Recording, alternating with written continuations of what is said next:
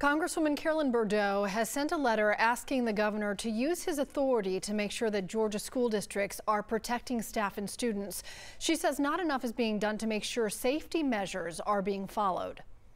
Over 2,500 parents signed a petition uh, to the Forsyth County School District asking that they um, follow some basic public health safety guidelines, including uh, requiring mask wearing in the schools. And the number one criteria that the CDC outlines as essential for the safe opening of schools is uh, mask wearing. You know, what, what we need is to make sure that our teachers and our school community, the support staff, are safe when they're in that school and that we're following basic public health guidelines. So you heard from a number of parents that did sign that petition because they're concerned that what they're seeing in the school is not enough to keep, well, educators and students safe.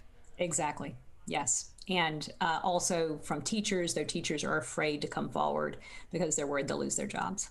Is it your hope that the state would essentially crack down harder on the schools that aren't doing more in terms of safety guidelines and measures?